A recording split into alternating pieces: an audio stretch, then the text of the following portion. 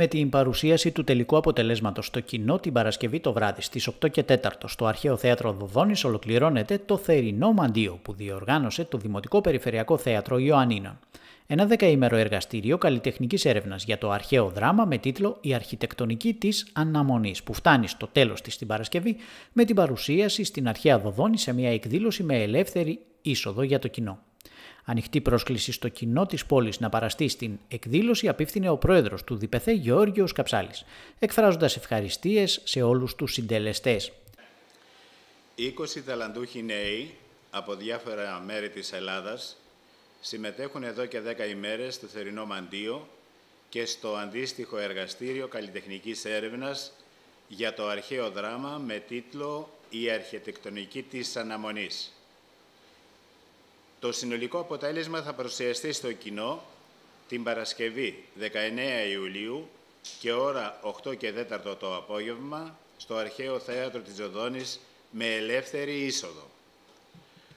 Προσκαλούμε το κοινό της πόλης μας και της ευρύτερης περιοχής να τιμήσει με την παρουσία και με το χειροκρότημά του την προσπάθεια όλων αυτών των νέων παιδιών που αγαπούν το θέατρο και ιδιαίτερα θα έλεγα το θέατρο της Δοδόνης και ασφαλώς την πόλη και την περιοχή μας.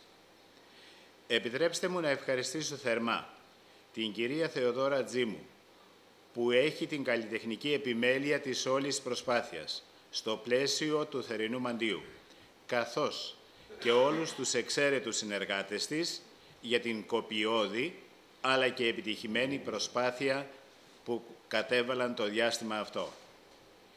Να ευχαριστήσω επίσης θερμά όλους τους χορηγούς που υποστήριξαν την προσπάθειά μας. Τόσο η Θεοδόρα Τζίμου όσο και η Γιώτα Παναγή, που από κοινού είχαν την ευθύνη της διοργάνωσης, μαζί με τον κύριο Κάρα Χάλιο, που ήταν ο χορογράφος και κινησιολόγος του εργαστηρίου, αναφέρθηκαν με λόγια συγκίνησης στη διαδρομή που φτάνει στο τέλος της, εκφράζοντας θερμές ευχαριστίες προς τη διοίκηση του ΔΠΘ αλλά και προς τους 20 συμμετέχοντες. Είναι κάτι που είναι καταρχάς ομαδικό και δεν θα μπορούσε να γίνει χωρίς αυτά τα συγκεκριμένα άτομα και χωρίς αυτά τα 20 παιδιά, τα οποία πραγματικά είναι υπέροχα ε, βιώνουμε μια εμπειρία, για μένα είναι μοναδική και νομίζω για όλους είναι μοναδική. Χαιρόμαστε πάρα πολύ που είμαστε στον τόπο μας, γιατί πολλοί από εμάς είναι από τα Γιάννενα. Ε, είναι μοναδική εμπειρία επίσης στο θέατρο. Ευχαριστούμε πάρα πολύ τον Πρόεδρο, τον Διπεθή για τη στήριξη. Πραγματικά ε, είναι δίπλα μας σε ό,τι θέλουμε, ό,τι ζητήσουμε και αυτό είναι πολύ είναι ευτυχές γεγονός. Είναι πολύ μεγάλη χαρά για εμάς που ξεκινήσαμε από αυτό το τραπέζι με τον Πρόεδρο και με εσάς. Και σήμερα έχουμε πολύ μεγάλη χαρά και πολύ μεγάλη τιμή που είμαστε όλοι συντελεστές εδώ. Ε, είναι πολύ σπάνιοι άνθρωποι, άνθρωποι που συνεργάστηκαν μαζί μας και ως καλλιτέχνες ε, και ως προσωπικότητες. Ε, είμαστε στη, σχεδόν στο τέλος της διαδικασίας, σε ένα πολύ μεγάλο peak.